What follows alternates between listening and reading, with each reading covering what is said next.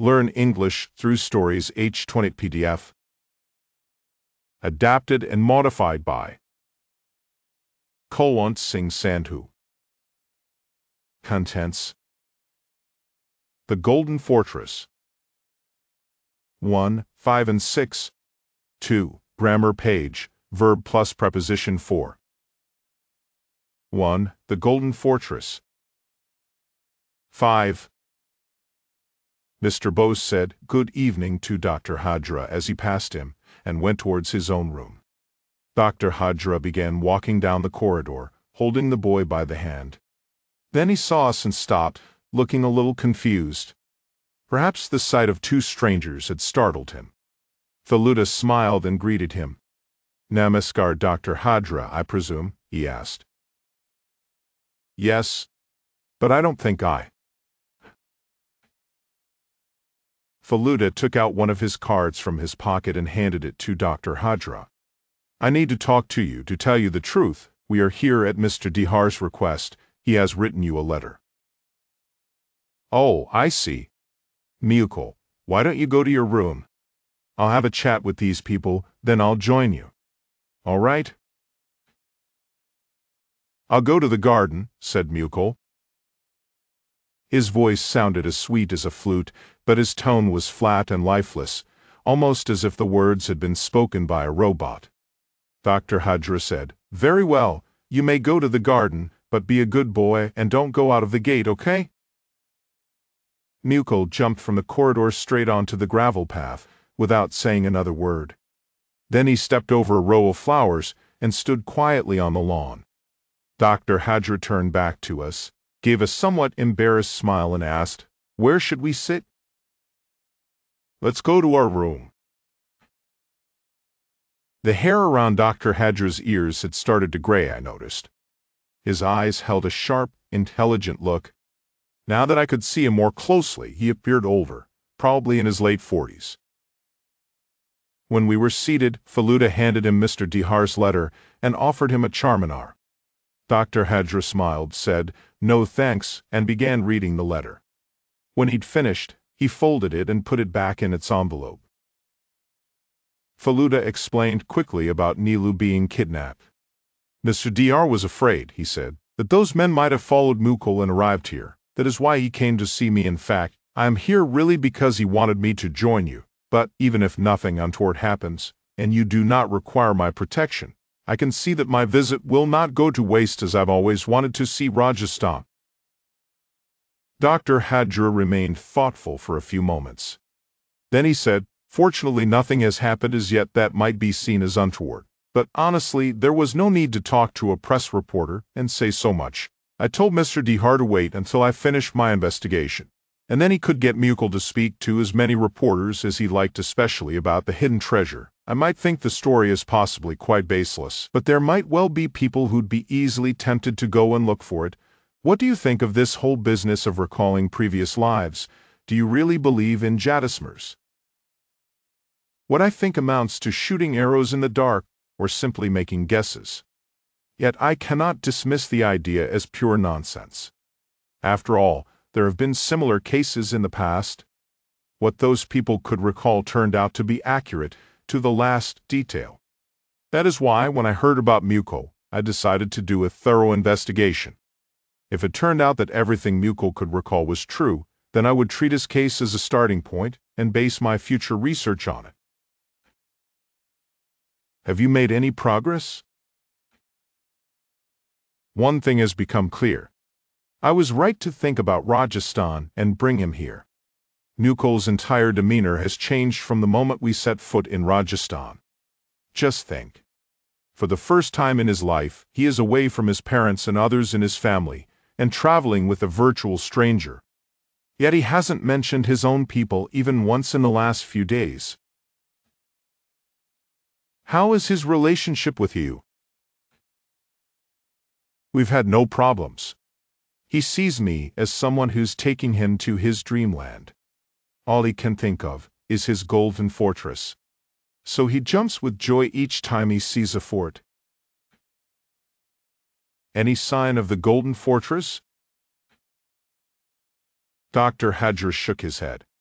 No, I am afraid not. On our way here, I took him to the fort in Kishangarh yesterday evening. He saw the Jaipur fort from outside. Today, we went to Barmer. Every time, he says, No, not this one, let's find another. One really needs patience in a case like this. I know there's no point in taking him to Chittor or Udaipur because there's no sand near those places. Mukul keeps talking of sand, and that's to be found only in these parts, so I'm thinking of going to Bikaner tomorrow. Would you mind if we came along? No, of course not. In fact, I'd feel quite reassured if you were with us because something happened. Dr. Hajra stopped.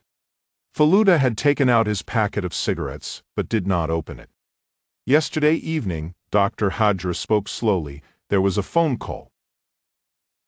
Where? Here in the circuit house.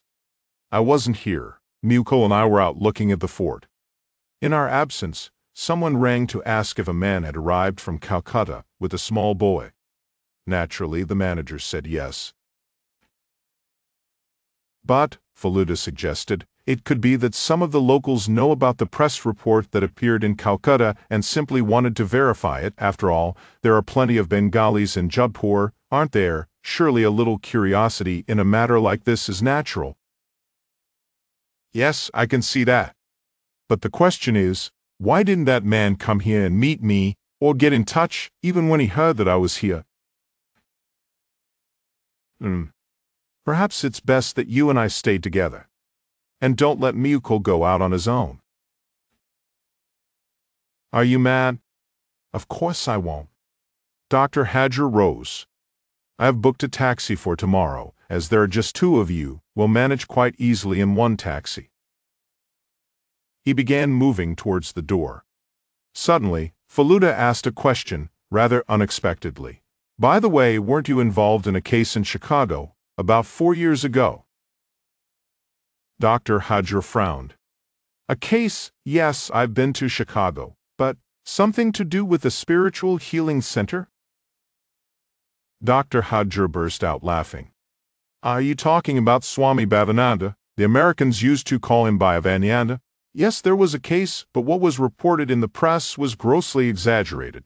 The man was certainly a cheat, but you'll find similar cheats among quacks of all kinds. It was small-time stuff no more. In fact, his patients caught him out, and the news spread. Reporters from the press came to me for my opinion. I said very little and tried to play things down, but those reporters blew everything out of proportion. Afterwards, I happened to meet Bhavananda. I explained the whole matter to him myself, and we parted as friends. Thank you. What I read in the papers told me something quite different. We went out of the room together with Dr. Hajra. It was dark outside. Although the western sky was still glowing red, the street lights had come on.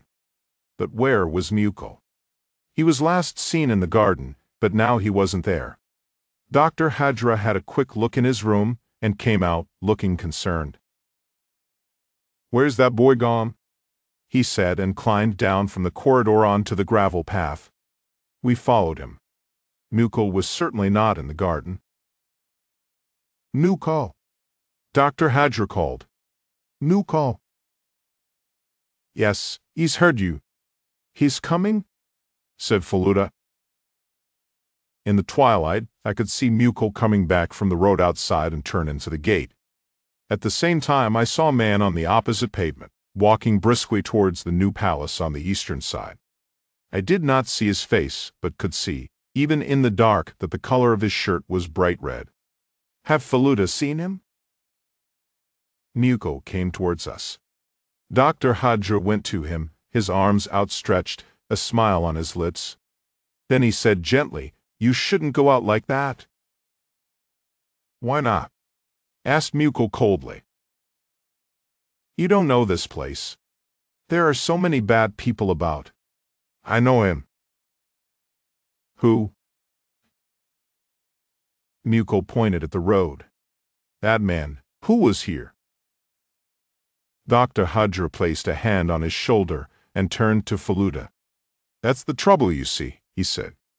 It's difficult to say whether he's talking of someone he really knows in this life, or whether he's still talking about his previous life. I noticed a shiny piece of paper in Mukul's hand. Feluda had seen it too. He said, May I see that piece of paper you're holding? Mukul handed it to Feluda. It was a piece of golden foil, about two inches long and half an inch wide. Where did you find it? Over there, Mukul pointed at the grass. May I keep it? asked Feluda. No. I found it. Mukul's voice hadn't changed. His tone was just as cold and as flat. Feluda was obliged to return the piece of foil to him.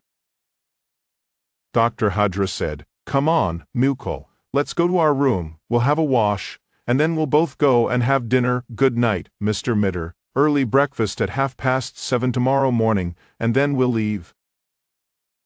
Feluda wrote a postcard to Mr. Dihar with news of Mukul's welfare before we went to the dining hall. By the time we got there after a shower, Dr. Hajra and Mukul had returned to their room. Mandar Bose was sitting in the opposite corner, having his pudding with the Marwari gentleman he had been talking to earlier. They finished their meal and rose as we were served our soup. Mr. Bose raised his hand and said, Good night, as he went out through the door. After two nights on the train, I was feeling quite tired. All I wanted to do after dinner was go to sleep but Feluda made me stay awake for a while. He took out his blue notebook and sat on the sofa. I was lying in my bed. We had a cream to ward off mosquitoes, so there was no need to use the mosquito net.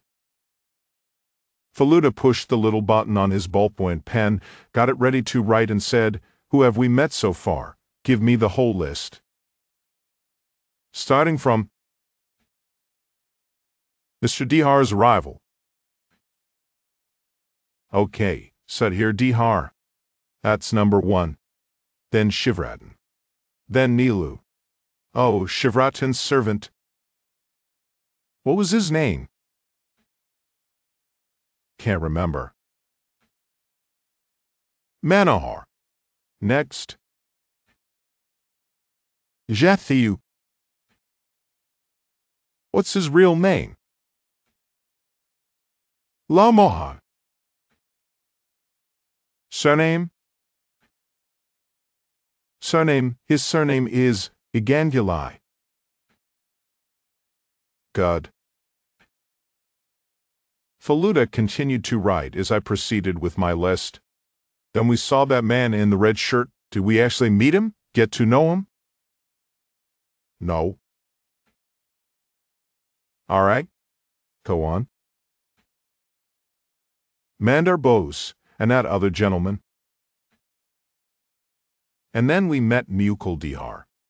Doctor. Feluda. My sudden scream made Feluda stop in mid-sentence. My eyes had fallen on Feluda's bed. An ugly, creepy creature was trying to slip out from under his pillow. I pointed at it. Feluda sprang to his feet, moved quickly and removed the pillow. A scorpion lay on the bed. Feluda pulled the bedsheet off in one swift motion, and the scorpion fell on the ground. Then he grabbed his chappal and smacked it three times with all his might. After that, he tore off a piece from a newspaper, picked up the crushed creature with it, and went into the bathroom. I saw him crumple the whole thing into a ball and throw it out of the back door. He came back to the room and said, The door which the cleaners used was left open. That's how Mr. Scorpion got into our room. Anyway, go to sleep now. We have an early start tomorrow. But I could not dismiss the matter so easily. Something told me, but I put the thought out of my mind. If I kept thinking of possible danger, and if my telepathy was strong enough, it might just drag that danger closer. Who knew? It would be far better to try to sleep. 6. The following morning, as soon as I emerged from our room, I heard a familiar voice say, Good morning. It was Jatayu. Feluda was already seated on a chair on the corridor outside, waiting for his tea. Chathib glanced round excitedly and said, Oh, this is such a thrilling place, Mr. Mitter, full of powerfully suspicious characters. You are unharmed, I hope? Falud asked. Oh, yes. I feel fitter than ever. This morning, you know what I did? I challenged the manager of our lodge to an arm wrestle. But the fellow didn't accept. Then he came a little closer and whispered, I have a weapon in my suitcase. A catapult? No, sir. A Nepali dagger, straight from Kathmandu. If I'm attacked, I'm going to stab my attacker with it, push it straight into his stomach, I tell you. Then let's see what happens. I've always wanted to build up a collection of weapons, you know. I wanted to laugh again, but my self-control was getting better, so I managed to stop myself. Lalmohan Babu sat down on the chair next to Feluda and asked, What's your plan today? Aren't you going to see the fort? Yes, but not the fort in Jodhpur. We're going to Bikaner. Bikaner? Why Bikaner? We've got company. Somebody's arranged a car. Another voice said, Good morning, from a different part of the corridor. Mr. Globetrotter was walking towards us. Did you sleep well? he asked. I caught Lalmohan Babu casting admiring glances at Mandar Bose's handsome mustache and muscular physique. Feluda introduced him to Mr. Bose. Good heavens, a globetrotter. Lalmohan Babu's eyes widened. I must cultivate you, dear sir. You must have had a lot of hair-raising experiences. Plenty, I can assure you. The only thing that I have missed is being boiled in a cannibal's cooking pot. Apart from that, I have had virtually every experience a man can possibly have. Suddenly, I noticed Mukul. I hadn't seen him come out on the corridor. He was standing quietly in a corner, staring at the garden. Then Dr. Hajra appeared, dressed and ready to go out. A flask was slung from one shoulder, from the other hung binoculars, and around his neck was the strap of his camera. He said, It will take us almost four and a half hours to get there. If you have a flask, take it with you. God knows if we'll get anything to drink on the way, but I've told the dining hall to give us four packed lunches. Where are you off to? asked Mandar Bose. On being told where we were going, he became all excited. Why don't we all go together? he asked. What a good idea! exclaimed Lalmohan Babu. Dr. Hajra looked a little uncomfortable. Well then, how many are actually going? he inquired. Look, there's no question of all of us going in one car, Mr. Bose reassured him. I will arrange another taxi. I think Mr. Maheshwari would also like to go with me. Are you going to? Dr. Hajra asked Lalmohan Babu. If I go, I'll pay my share. I don't want anyone else to pay for me. Tell you what, why don't you four go in one taxi? I'll go with Mr. Globetrotter. Obviously, Jatayu wanted to hear a few stories from Mr. Bose and perhaps get ideas for a new plot. He had already written at least 25 adventure stories. To be honest, his remark made me feel quite relieved. Five in one car would have been cramped and uncomfortable. Mr. Bose spoke to the manager and booked a second taxi. Lalmohan Babu returned to New Bombay Lodge. Please pick me up on your way, he said before he departed. I'll be ready in half an hour. Before I describe anything else about our visit to Bikaner, perhaps I ought to mention that Mukul rejected the fort there as soon as he saw it. But that was not the highlight of our visit. Something far more important happened in Devikund, which proved that we were truly up against a ferocious foe. Nothing much happened on the way to Bikaner except that we saw a group of gypsies. They were camping by the roadside. Mukul asked us to stop, got out of the car and roamed amongst the gypsies for a while. Then he returned and declared that he knew those people. After that, Feluda and Dr. Hajra spoke about Mukul for a few minutes. I cannot tell whether he heard the conversation from the front seat. If he did, his demeanor gave nothing away. Dr. Hajra, Feluda began, When Mukul talks of his previous life, what exactly does he say? He mentions one thing repeatedly, a golden fortress. His house was apparently near that fortress. Gold and jewels were buried under the ground in that house. From the way he talks, it seems as if he was present when the treasure was buried. Apart from that, he talks of a battle. He says he saw a large number of elephants, horses, soldiers, guns, cannons. There was a lot of noise and people were screaming. And he talks of camels. Says he's ridden camels. Then he talks of peacocks. Once a peacock had attacked him, pecked his hand so hard that it began bleeding. There's something else he mentions frequently. Sand. Haven't you noticed how animated he becomes when he sees sand? We reached Bikaner at a quarter to twelve. The road began going uphill a little before we reached the city, which was surrounded by a wall on top of the hill. The most striking building there was a huge fort made of red sandstone. Our car drove straight to the fort. As it got closer, the fort appeared to grow bigger. Baba was right. The appearance of the forts in Rajasthan was a good indicator of the might of the Rajputs. As soon as our taxi drew up at the entrance, Mukul said, Why have we stopped here? Dr. Hajra asked him, Does this fort seem familiar, Mukul? Mukul replied solemnly, No, this is a stupid fort, not the golden one. By this time, we had all climbed out of the car. Just as Mukul finished speaking, a harsh raucous sound reached our ears. At once, Mukul ran to Dr. Hajra and flung his arms around him.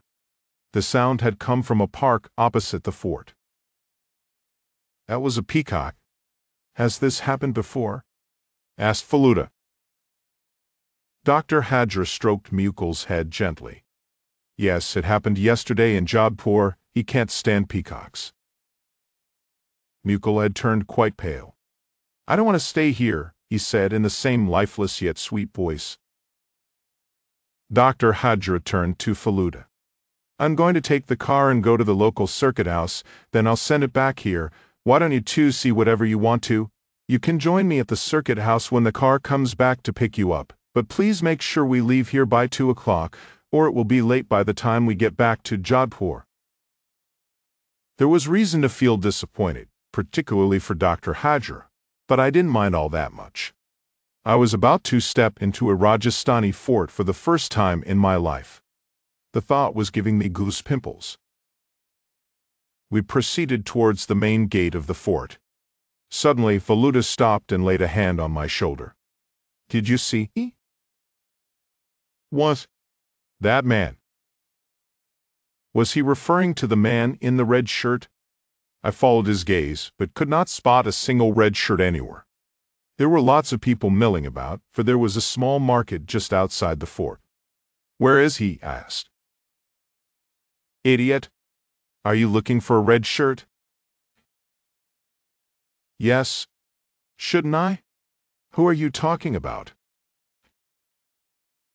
You're the biggest fool on earth. All you remember is the shirt, nothing else. It was the same man, he was wearing a shawl, and most of his face was covered, all except his eyes. But today, he had a blue shirt on. When we stopped to look at those gypsies, I saw a taxi going towards Bikaner. That's when I spotted that blue shirt. But what is he doing here? If we knew that, there would be no mystery. The man had vanished. I passed through the gate and entered the fort, feeling rather agitated. A large courtyard greeted me. The fort stood proudly to the right. There were pigeons everywhere, in every niche in the wall. A thousand years ago, Bikaner was a thriving city, but it had disappeared under the sand. Feluda told me that 400 years ago, Raja Rai Singh began building the fort. He was a famous leader in Akbar's army. Something had been bothering me for a while. Why hadn't Lalmohan Babu and the others arrived yet? Did they get late in setting out? or had their car broken down on the way? Then I told myself not to worry. There was no point in spoiling the joy of seeing an amazing historical sight. What struck me as most amazing was the armory. Not only did it contain weapons, but also a very beautiful silver throne called Alam Ambali. It was said to be a gift from a Mughal Bacha.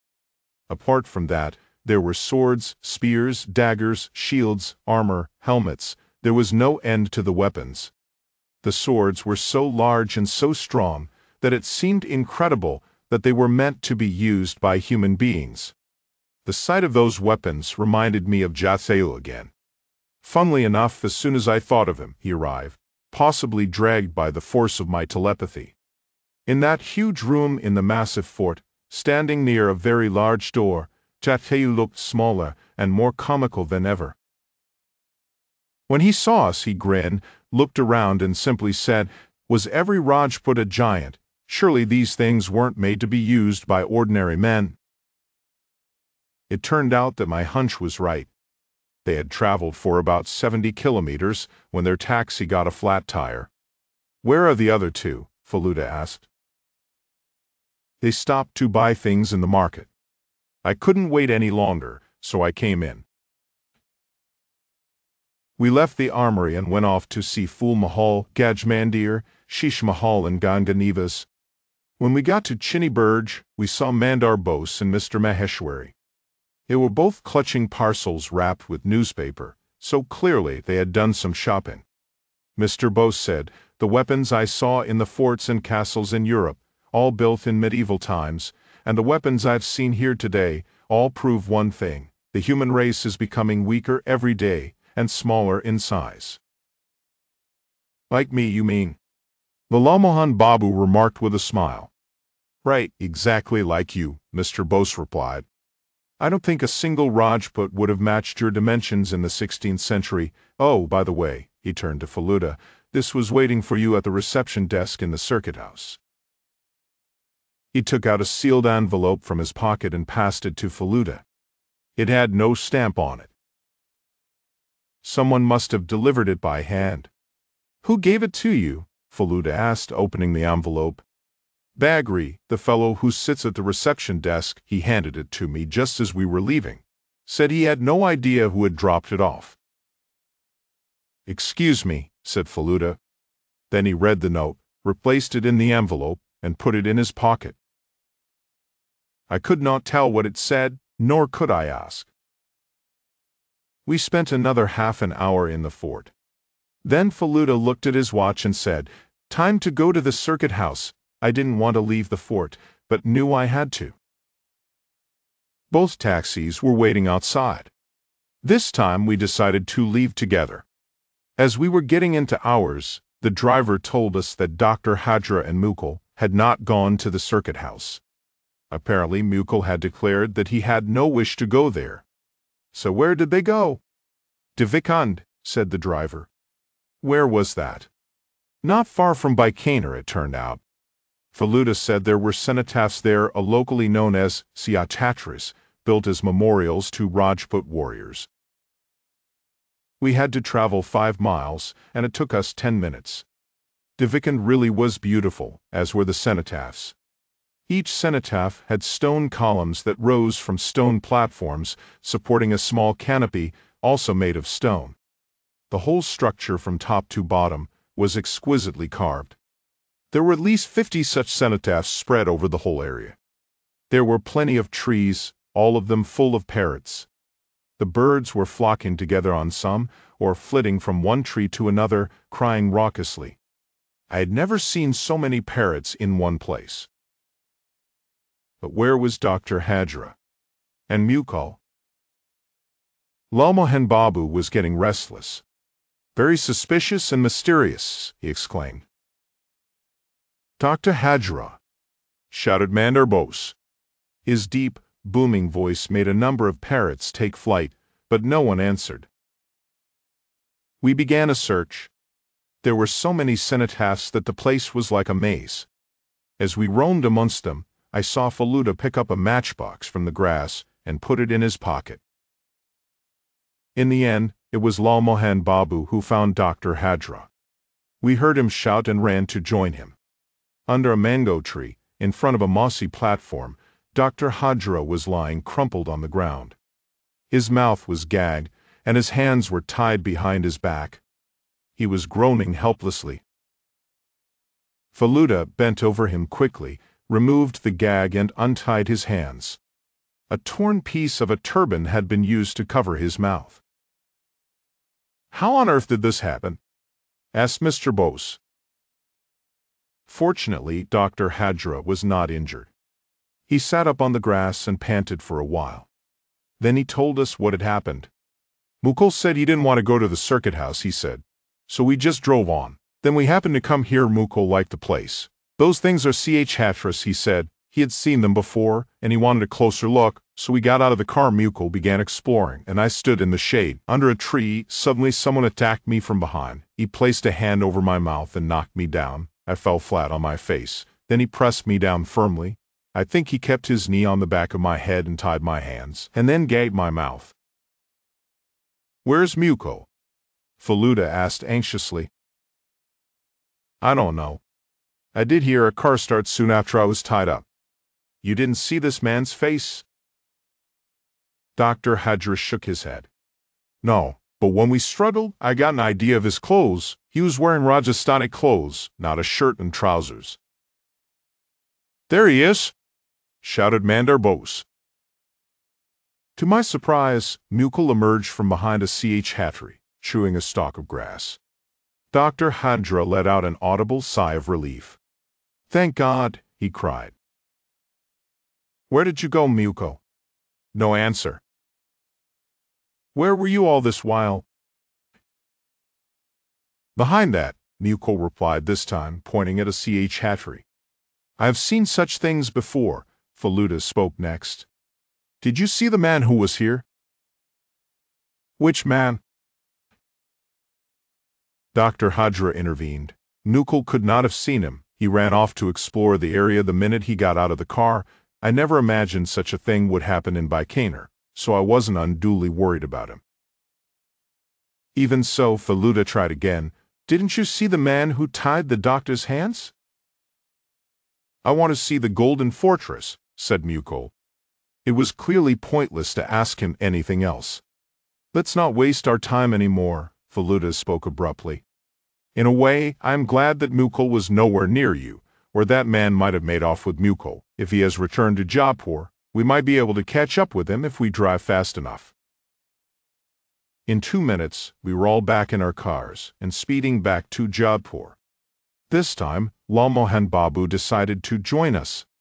Those men drink a lot. I can't stand the smell of alcohol, he confided. Our Punjabi driver, Harmeet Singh, managed to drive at 60 mph.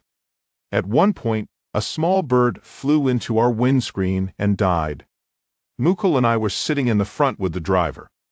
I turned around once to look at the three men in the back seat. Lalmohan Babu was sitting crushed between Feluda and Dr. Hajra. His face looked pale and his eyes were closed. Nevertheless, a smile hovered on his lips, which told me that he could smell an adventure. Perhaps he had even thought of a plot for his next novel.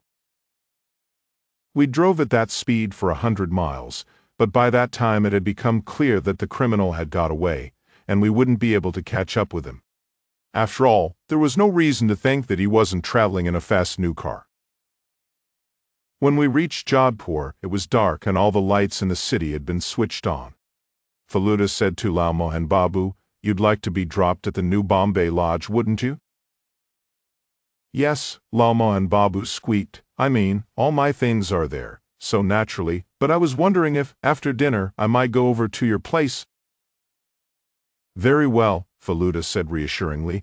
I will ask at the circuit house if they have a vacant room. You can ring me at around nine. I should be able to tell you then. I was still mulling over all that had happened during the day. We were up against someone extremely clever and crafty, of that there was no doubt. Was it the man in the red shirt who went to Bikaner today wearing a blue one? I didn't know. Nothing was making any sense to me. Perhaps Feluda was just as puzzled. If he had worked things out, his whole demeanor would have changed. Having spent so many years with him and watched his reactions, that was something I had learned to read quite well. Upon reaching the circuit house, we dispersed and went to our individual rooms. Before going to our room, Feluda said to Dr. Hajra, If you don't mind, may I keep this with me? In his hand was the torn piece of cloth with which Dr. Hajra had been tied. Certainly, Dr. Hajra replied. Then he moved a little closer and lowered his voice. As you can see, Mr. Mitter, the situation is now quite serious. This is exactly what you were afraid of, isn't it? I must say I hadn't anticipated such trouble. Don't worry, Feluda told him. You carry on with your work I am going to be with you. If you had gone straight to the circuit house in Bikaner today, I don't think there would have been any problem. Fortunately, whoever attacked you could not kidnap Mukul. That's the main thing. From now on, stay close to us. That should minimize the chances of something similar happening again. Dr. Hajra continued to look troubled.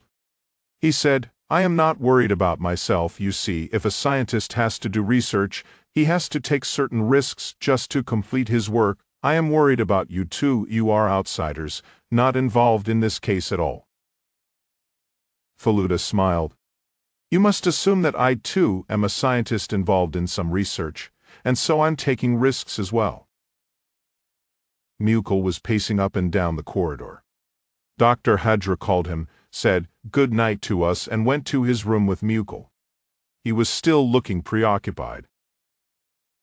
We went to ours. Feluda called a bearer and ordered two Coca-Colas. Then he took out his cigarettes and lighter from his pocket and placed them on the table. He was looking worried. From a different pocket, he took out the matchbox he had found in Devikund. It had an ace printed on one side, and it was empty. Feluda stared at it for a few moments before saying, We stopped at so many stations on the way to Jodhpur, and you saw so many pawn stalls selling matches and cigarettes. Did you notice any of them selling this particular brand of matches? I had to admit the truth. No, Feluda, I didn't notice anything.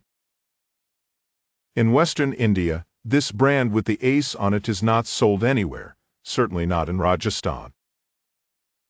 This matchbox has come from a different state.